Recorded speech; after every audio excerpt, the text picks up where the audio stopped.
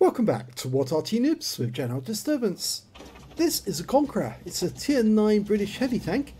It's located on the South Spawn of Mountain Pass and it's under the command of MacGyver 1970. Now if he's got the top gun, he's got the 120mm, which is capable of 400 alpha, yes it is. 259mm of penetration with standard ammo, but the APCR goes up to 326 basically the Conqueror is an upgraded version of the Caernarvon. It's a British heavy tank designed to take on the IS-3. Certainly got the penetration with the gun. The gun's the L1A1 which really set the standard for 120mm guns at the time. And you can see it's got bursting plates around the turret which actually stop heat rounds from having an effect. The turret is fairly good for bouncing around, so is the upper plate of the tank, but the rest of it, well, it's fairly slow, and the armour is not so great on other parts of the tank. You can see he's very sluggish to get to uh, the confrontation point on the valley, on the ice road. The Foch is much, much faster. Ah, now did his sixth sense just go off? It did, yes. That's why he stopped suddenly. Okay, now you're going to find out how bouncy that turret is. He's facing an IS-2 The Foch has just fired two rounds. Oh, and that one went off the uh, turret. Right at the top of the turret, the IS-2 See, the reload time's quite long, 8.8 .8 seconds, but, well, I suppose for a 120mm, that's fairly good at this tier trying to search for that cupola. There's not much to go on.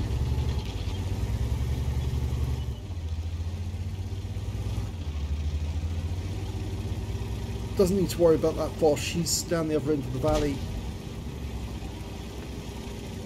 Can see the Scorpion G, no fear, but uh, balls the size of tennis, well, not tennis balls, um, balls the size of a basketball actually to do what he just did because he hasn't got much in the way of armour and he won't survive unless he gets more support.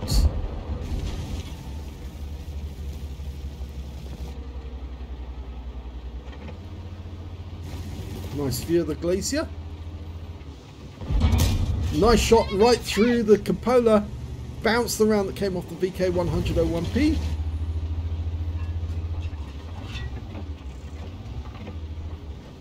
Okay, offer us the cupola again. 10 degrees gun depression on this tank. Tried to get it there, bounced the round that came back, that's okay. It's got 10 degrees, it's, it's actually fairly good gun depression, much better than the Soviets. They really can't exploit ridgelines the way that, British tanks do. Hello, lower plate, takes him out. No problem. Big Alpha able to go straight through the lower plate and he's out the game. Okay, VK or the other one. Ooh! He just got the side of a turret on the uh, IS-3 too. In fact, more enemies have turned up and he just went through the lower plate weak spot on the VK. The enemy recognises the biggest threat is actually coming from this direction. Took around there from the Emil 2 and bounced, well, took around in the tracks from the VK. He's repaired it and pulled back job that he did. And because he's got a large repair kit, he's actually fixed everything at the same time. Uh, yeah, that that IS-3 2 was actually very well angled to avoid doing any damage. That one went into the tracks again. Yeah, he's very well angling. You've got to aim to the specific, specific point you want it to go through to get a pen. Go for the VK. Yeah, he's out the game.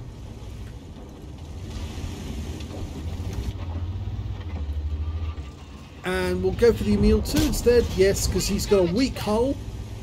Don't aim for the turret and the IS, uh, the Emil. Go for the, the hull. It's very, very weak indeed. And he's out the game. So that's three kills now from MacGyver. Oh, that one managed to miss all the tracks, all the suspension parts, and actually went straight in through the side. And that one did as well. no amount of actually moving about jiggling would actually stop it if you're aiming for the specific point on the hull where it actually will go through. I'm not sure he's going to get a shot on that Bat Chat because he's getting out of there before he uh, uh, he did get killed. but it was the other Conqueror who got the kill on him. And this Scorpion, well, all he can really do at this point is defend, but he's a one shot. And MacGyver's going for the kill. This will be his fifth kill, if he can get it. Yeah, no problem. Took a round from the Scorpion, but it's the FV207 fired an HE round at him, and if he kills this guy, he will get a Top Gun, but the FV's decided to run away. He went down the side of the cliff. So MacGyver's going to chase him. There he is. And that is the Top Gun. There's only three enemies remaining. He could stay here in the cap and let the enemy come to him now. Ah, now, Foch. Takes him out one round. He'd already suffered a lot of damage, but he did take one round from the Foch. Foch's 120mm gun. He lost 441 hit points, but he's still got half his hit points left. There's only two enemies. He's got seven kills. He could get a Radleys. It is possible. But the two enemies that he needs to come back are the AMX M449 Liberté and the STA-1. We don't know where the STA-1 is, but we can see where the Liberté is. He's the other side of the bowl and he's engaging our Liberté at the moment, so I don't think he's going to come back. And it looks like the Conqueror up on top of the hill is going to stop the STA-1 if he does arrive. The Conqueror being such a slow tank, it's going to be really difficult for him to chase after that STA-1, which is quite a fast Japanese tank, so probably not a good idea to go looking for him. He probably wouldn't find him in time, and the Conqueror, the other Conqueror, would probably cap out anyway, so they've both decided to cap now. So he's going to miss out on the Radleys, but he does get the victory and the satisfaction of knowing he did most of the work. That's the hole from the FV207. Quite a big hole. And that's it, they've capped out. So, a nice little victory for MacGyver. And this was an ace tanker for MacGyver in the Conqueror. Well done. He managed to get a Bruiser medal for getting at least five critical hits. He also got a, a duelist, fire effect, and a shell proof. He picked up an Invader medal because he was actually the only one in the cap for most of the time. The other Conqueror came down to help him complete the cap, but he managed to get at least 80 cap points in the process. And he also got a Top Gun for getting at least six kills. He actually ended up with seven, just short of getting the uh, the Radleys.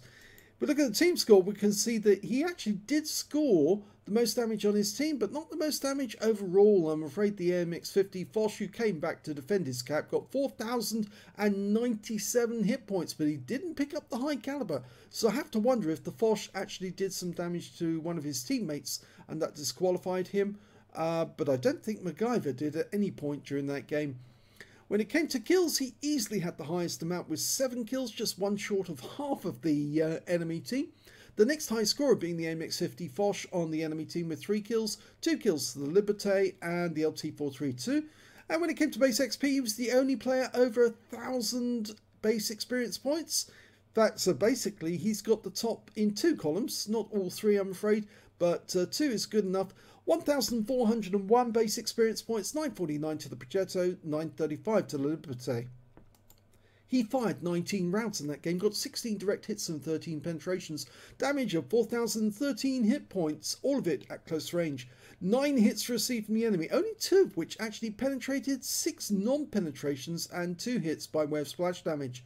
Yeah, the the two that penetrated, I believe, if I remember correctly, uh, the Emil got him with one, and the Foch hit him, and so did the uh, the FV207. But I think that was a splash. So yes, it was the Foch and the Emil that were the ones that actually penned him.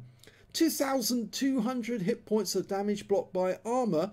Didn't qualify for the steel wall because it was too too few shots and he damaged 7 of the enemy, killed 7 of the enemy, and did 873 hit points of damage assistance. Unfortunately, even though he made 42,935 credits from the game, because of all the premium ammo he used, he actually made a loss of 4,728 credits. But he did pick up 3,153 XP overall, so it was a benefit to him. So a very good round in the Conqueror. Congratulations on your ace tanker, MacGyver. That was a good uh, explanation or good example of how good the Conqueror can be in the right hands. If you enjoyed that replay, please give this video a like, do subscribe to our channel, leave a comment down below because it feeds the algorithm, and thank you very much indeed for watching, and Merry Christmas and Happy New Year to all our viewers.